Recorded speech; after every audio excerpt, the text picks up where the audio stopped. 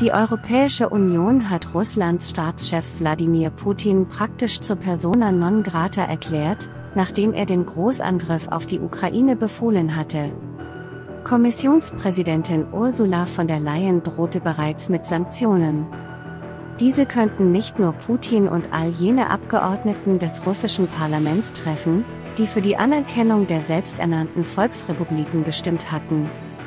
Auch Altkanzler Gerhard Schröder muss nach Meinung eines Sanktionsexperten fürchten, dass ihm der Geldhahn zugedreht wird. Schröder steht nicht nur auf sehr vertrautem Fuß mit Wladimir Putin. Er ist auch Kandidat für einen Sitz im Aufsichtsrat des Energieriesen Gazprom. Politologe Gerald Schneider von der Universität Konstanz sagte der Welt. Sollte sich der Altbundeskanzler für einen Gazprom-Posten entscheiden, könnten etwaige Sanktionierungen der russischen Energiewirtschaft auch ihn treffen. Es wäre dann nicht zu vertreten, Führungspersonen aus dem russischen Energiesektor abzustrafen und Schröder auszunehmen.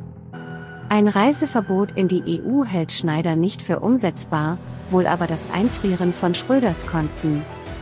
Der SPD-Politiker hatte zuletzt für Wirbel gesorgt, weil er der Ukraine mit Blick auf Waffenlieferungen Säbelrasseln vorgeworfen hatte. Schröder ist seit seiner Zeit als Bundeskanzler mit Wladimir Putin befreundet. Außerdem hat er Führungspositionen bei den Pipeline-Projekten Nord Stream und Nord Stream 2 inne.